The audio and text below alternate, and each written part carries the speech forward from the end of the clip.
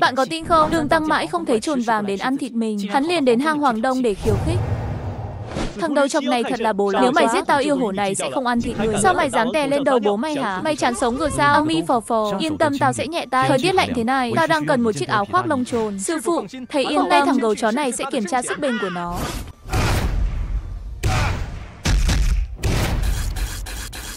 Đồ xanh bọn mày đánh thật à? Giờ chúng mày ép tao phải ra tay để nhé.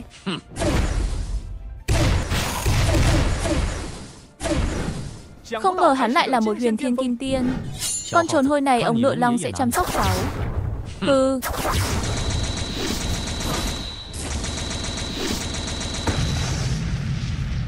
Ha ha tưởng thế nào toàn mó mà. Hai đấu một chúng mày không biết xấu hổ à?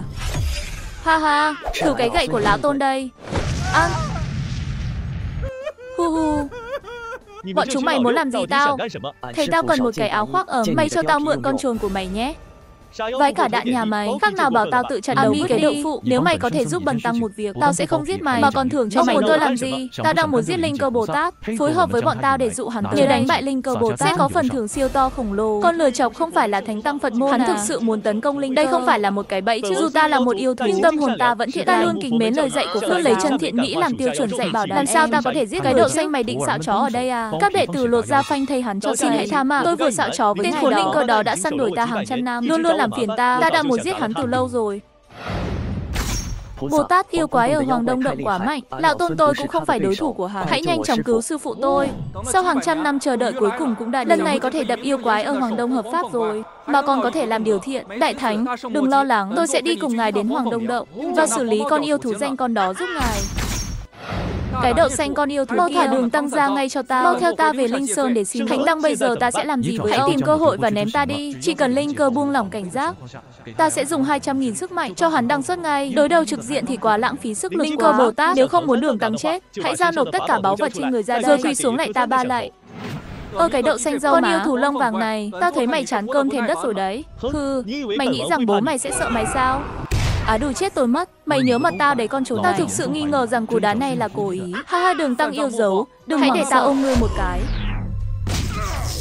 Ông cái quần què à, tao còn chưa từng nắm tay gái lần nào Không thể để ông làm ông người ta được Đừng tăng, ngươi làm cái quái gì vậy Bồ Tát Linh Cơ, cảm ơn ông đã tặng hai báu vật này cho ta Hóa ra đây đều là âm mưu của mày. Đừng tăng, tại sao mày muốn lừa tao? Nếu để Như Lai biết được, mày có biết hậu quả là gì không? Như Lai sẽ không thể nào biết được Bởi vì ông sắp chết rồi. Theo mập, đưa cái đinh ba cào phân của mày cho thầy mượn. Có mấy thứ này rồi, con lừa hỏi Như Lai đó làm sao đoán được là ai làm Khỉ, mau tiễn linh cơ Bồ Tát lên đường cho sớm đi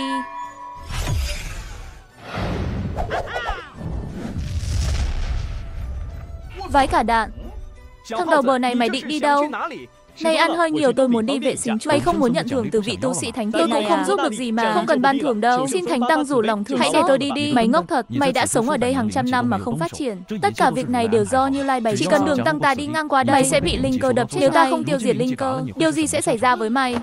Thánh tăng xin cứu Chỉ cần mày tham gia băng nhóm của ta, đảm bảo sẽ không ai dám động vào mày. Sư phụ, xin hãy nhận con làm từ giờ trở đi. Dù có lên núi đao hay xuống biển lửa, con sẽ bảo vệ thầy. Đệ tử ngoan của ta, đây là quà nhậm môn thầy tặng cho mày, là hệ thống bàn tay của Chúa. Bất kể là trình độ võ công, thần dược, linh vật đều có thể lấy được hết. Chúc mừng chủ nhân đã kích hoạt hệ thống bàn tay của sức mạnh ma thuật hiện tại của hệ thống đang ở cấp độ sơ cấp. Tỷ lệ sử dụng thành công cho chủ nhân là 10%. Ha ha, cảm ơn thầy đã tặng báu có được món báu vật này. Ngay cả quần xịp của Như Lai cũng có thể lấy được. Mày bậy quá, nhưng thầy được rồi, giống ngu. Mày sẽ tinh chế được kho báu rồng bay trong một nó có thể bù đắp cho tinh long còn thiếu. Khi ơi, ta sẽ tặng mày ngọc con nó. Mắt lửa của mày không còn sợ gió nữa. Cảm ơn sư phụ.